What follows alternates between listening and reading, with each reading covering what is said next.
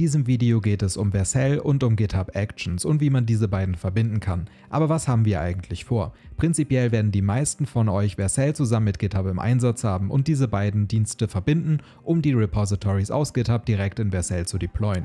Wir wollen das aber nicht machen. Wir wollen ein bisschen weitergehen und wir nutzen daher GitHub Actions. Und hier wollen wir eine Pipeline definieren, die für uns drei Steps hat. Das kann dir natürlich variieren. Im Laufe des Tutorials werden wir eine Pipeline bauen, die unseren Code lintet, dann testet und am Ende das Ganze zu Vercel deployt. Das funktioniert aber nur unter bestimmten Bedingungen. Das bedeutet, dass wir als erstes, wenn unser Job Linter durchläuft, erst dann den zweiten Step ausführen und erst wenn unsere Tests erfolgreich waren, wirklich ein Deployment zu Vercel durchführen. Das heißt, wir deployen nicht jede, jeden Commit, jeden Branch zu Vercel, wie es standardmäßig, wenn man ein Repository verbindet, üblich ist, sondern wir gehen deutlich selektiver vor und können es so in Produktion deutlich effizienter und besser einsetzen. Also los geht's!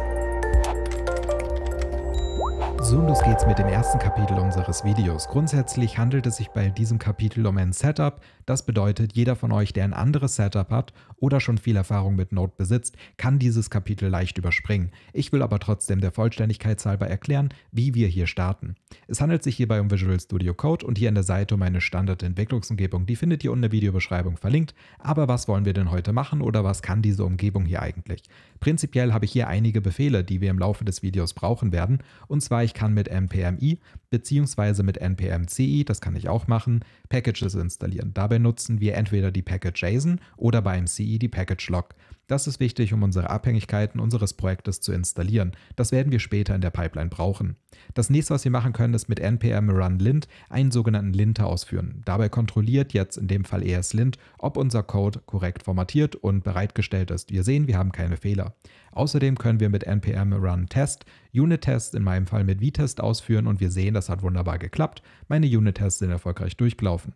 Und am Ende können wir mit npm run build unsere eigentliche Webseite bauen. Also wir bauen ein fertiges Projekt, in unserem Fall in diesem Dist-Ordner hier oben, wo wir jetzt einen Asset-Ordner haben mit unserer gebauten JavaScript- und CSS-Datei sowie unserer Index-Datei, die ihr hier in dem Source-Ordner seht. Grundsätzlich ist das auch schon alles, was unser Setup kann. Wir werden hier nicht wirklich etwas anpassen, weil wir müssen jetzt erstmal unser Vercel-Projekt erstellen und unser Projekt deployen. So, dann legen wir mal los mit dem eigentlichen Vercel-Thema. Und zwar erwarte ich von euch, dass ihr schon einen Account habt. Wenn ihr noch keinen Account bei Vercel habt, findet ihr einen unten in der Videobeschreibung, da könnt ihr euch einen Account erstellen. Das Ganze kostet doch erstmal nichts und ihr könnt damit auch einfach rumspielen. Grundsätzlich sehen wir hier, dass ich noch kein einziges Projekt habe. Was wir aber brauchen, ist die Vercel CLI. Diese Seite findet ihr unten in der Videobeschreibung verlinkt. Wir brauchen in unserem Fall den npm-befehl, den kopiere ich mir jetzt einmal und gehe zurück in Visual Studio Code. Hier kann ich mir den Befehl jetzt einfügen und das Ganze einmal installieren. Nachdem wir das jetzt installiert haben, können wir mit vercel-version überprüfen, dass wir eine aktuelle Version haben. Das funktioniert also. In meinem Fall bin ich hier schon angemeldet. Ihr werdet wahrscheinlich bei euch mit Vercel noch nicht angemeldet sein und wenn ihr jetzt den Befehl eingebt, einfach nur Vercel, dann werdet ihr wahrscheinlich nach einem Login gefragt. In meinem Fall möchte ich jetzt etwas installieren, also ich sehe hier schon die äh, Development und dann mein Repository, in dem ich mich gerade befinde. Das möchte ich gerne deployen, also sage ich hier einfach nur Ja. Das nächste, was er mich fragt, ist, wo ich das Ganze hin deployen möchte. In meinem Fall sage ich zu Johannes Schiel. Die nächste Frage ist, wie gesagt, gibt es ein existierendes Projekt? In meinem Fall nein, also es gibt kein Projekt und den Namen meines Projektes lasse ich einfach so, wie das Repository heißt und die Directory, wo mein Code ist, ist die oberste Ebene, also Punkt Slash ist korrekt. In meinem Fall wird jetzt das Projekt aufgesetzt und hier wird gefragt, habe ich irgendwelche Anpassungen in meinem Bildprozess? Ja, hier eigentlich nicht. Wir haben Viet Bild, alles läuft ganz normal, wir haben nichts verändert. Also sagen wir hier Nein, wollen wir nicht verändern und jetzt deployen wir das Ganze. In dem Moment hat das auch schon funktioniert und meine Seite wird gerade online bereitgestellt unter der URL, die hier zur Verfügung steht. In meinem Vercel-Projekt sehe ich jetzt, hier ist ein neues Projekt aufgetaucht. Wenn ich das anklicke, sehen wir hier jetzt auch, dass mein Projekt korrekt gehostet wurde. Hello World steht hier und wir sehen hier unseren Pfad, den wir theoretisch öffnen können. Das Ganze hat also wunderbar funktioniert. Wir müssen jetzt aber noch einige Einstellungen vornehmen. Und zwar legen wir in unserem Projekt jetzt etwas Neues an. Und zwar sagen wir hier einfach vercel. und dann JSON. In meinem Fall möchte ich nämlich diese Befehle hier mit hinzufügen. Diese Befehle besagen einmal, dass wir die zweite Version von Vercel benutzen wollen, dass das kein Public-Projekt ist und dass wir GitHub nicht enablen wollen. Das ist ein ganz wichtiger Befehl, weil ansonsten baut Vercel bei jedem Commit ein neues Deployment. Und das wollen wir nicht. Wir wollen ein Deployment abhängig von verschiedenen Build-Steps, die wir über die GitHub Actions laufen lassen. So müssen wir das also definieren und speichern das Ganze ab. Außerdem haben wir hier durch unser Projekt einen neuen Ordner generiert bekommen, nämlich .vercel, wo wir eine Projekt.json drin haben und eine readme.txt. Diese beiden Dateien, die hier drin liegen, wollen wir in Zukunft auch nicht berücksichtigen.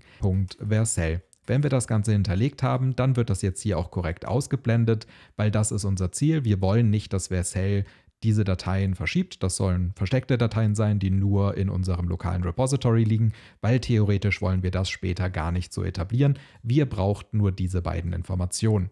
Weil jetzt können wir weitermachen, unsere eigentlichen Actions und dann unser GitHub Deployment mit Vercel vorzunehmen.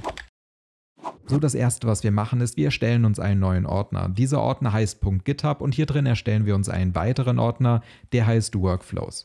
Hier drin erstellen wir uns jetzt eine neue Datei, die nennen wir einfach dev.yaml, die könnt ihr nennen, wie ihr wollt. In meinem Fall nenne ich die einfach so. In unserer Pipeline angekommen, definieren wir als erstes unseren Namen unserer Pipeline und außerdem, in welchen Event-Hooks das Ganze laufen soll. In meinem Fall sage ich, das Ganze soll eigentlich nur unter meinem Tutorial-Branch, den ich für dieses Video erstellt habe, laufen. Alles andere soll ignoriert werden.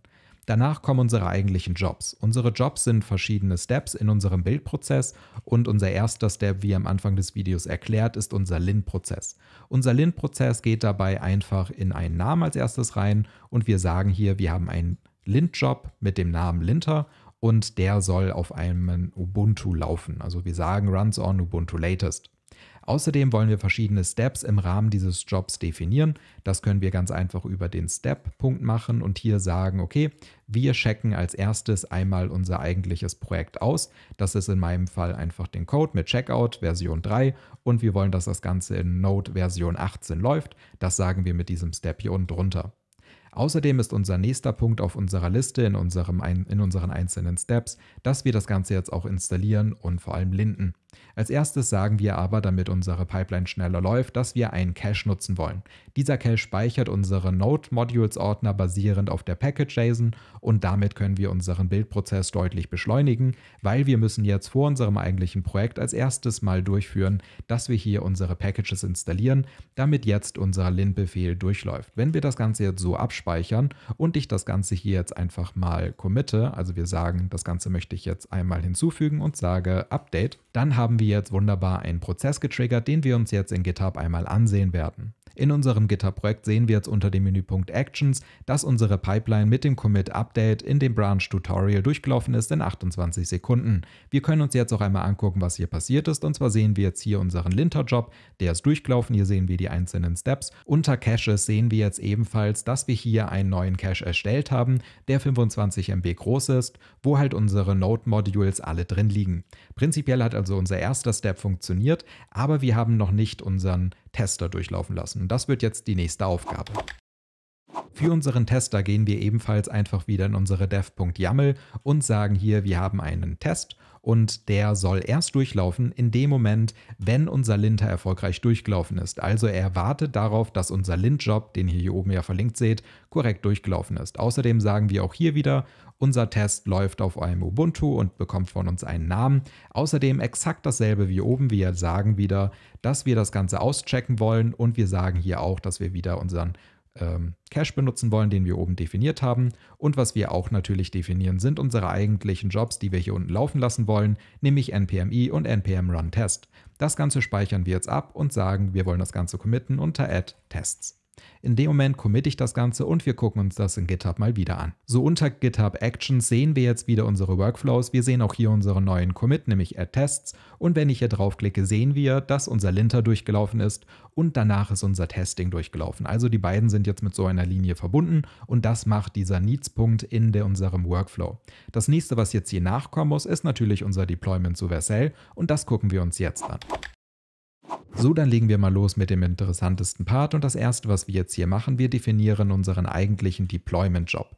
Unser Deployment-Job wartet natürlich in unserem Fall, weil das ist ja das Ziel dieses Videos, dass unser Test und unser Lint durchgelaufen ist. Außerdem definieren wir auch hier wieder einen Namen und natürlich ein System, auf dem es laufen soll, auch wieder Ubuntu und wir checken auch hier wieder mit der Version 3 unseren Code aus. Das Ganze speichern wir so ab, das funktioniert. Was wir jetzt aber machen wollen, ist einen etwas anderen Job aufrufen, also nicht wieder irgendeinen Job innerhalb von Node ein Step, sondern wir wollen das Ganze jetzt zu Vercel deployen. Dafür nutzen wir diese Action, die von dem Nutzer auf GitHub bereitgestellt wird und in der Videobeschreibung verlinkt. Hinterlasst auch ein Dankeschön, wenn ihr das in Zukunft auch nutzt. Man freut sich als Entwickler immer, wenn man etwas Open Source zur Verfügung stellt und die Leute sich bedanken. Prinzipiell, wenn man hier mit weiter jetzt noch sagt, wir wollen einige Parameter übergeben. Das erste, was wir hier nämlich brauchen, ist ein Vercel-Token. Was dieser Vercel-Token ist, gucken wir uns gleich an. Wir wollen außerdem verhindern, dass ein GitHub-Commit erstellt wird, deswegen sagen wir hier schlicht und ergreifend GitHub-Commit false. Außerdem brauchen wir eine Vercel-ID, die fügen wir hier unten ebenfalls ein und wir sagen, wir brauchen auch eine Projekt-ID von unserem Vercel-Projekt. Die fügen wir hier ebenfalls ein. Außerdem brauchen wir noch einen Scope, also einen Rahmen, in dem sich unser Deployment bewegt. Das müssen wir auch gleich noch hinzufügen. Und wir wollen ebenfalls eine Alias-Domain definieren, also eine Domain, unter dem unser Deployment laufen soll. Unser Deployment heißt in unserem Fall einfach tutorial-url. Das ist einfach ein Demo-Projekt, da könnt ihr natürlich auch eine richtige URL reinschreiben, wenn ihr beispielsweise wirklich eine Domain zugewiesen habt. Aber was ist denn hier Scope, Projekt-ID, Organisation und Token?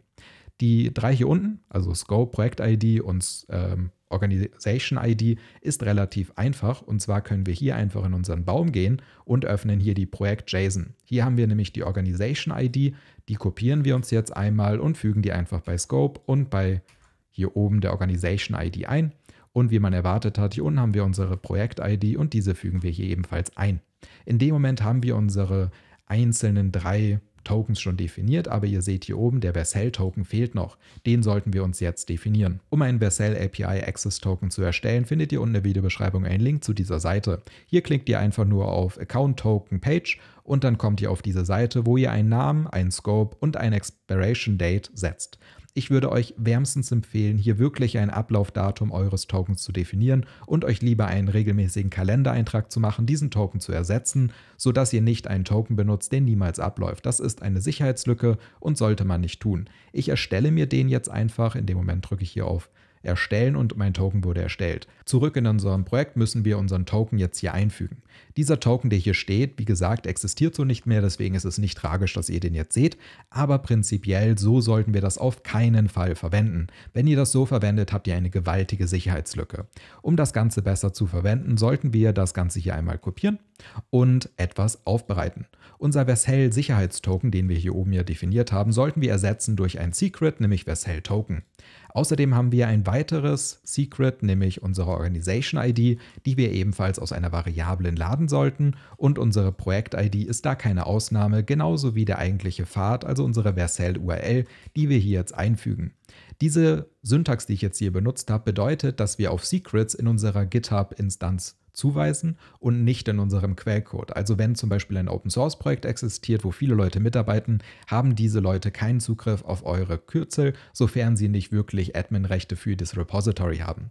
Wir müssen also jetzt unsere Werte hier erstellen und mitnehmen in unser Projekt. In eurem GitHub-Projekt geht ihr hier jetzt einfach auf Settings und in Settings scrollen wir etwas nach unten und dann findet ihr hier Secrets and Variables. Wenn wir da draufklicken, klicken wir auf Actions und ihr seht hier, ich habe schon einiges vorbereitet. Nämlich habe ich hier unsere vier Secrets, die genauso heißen, wie sie gerade in der Datei auch benannt wurden. Um ein neues Secret zu erstellen, müsst ihr aber eigentlich nur hier oben auf New Repository Secret gehen, zum Beispiel die URL hier reinkopieren, allerdings ohne die Anführungszeichen und dann sagen, wie heißt das Ganze, in meinem Fall Vercel URL.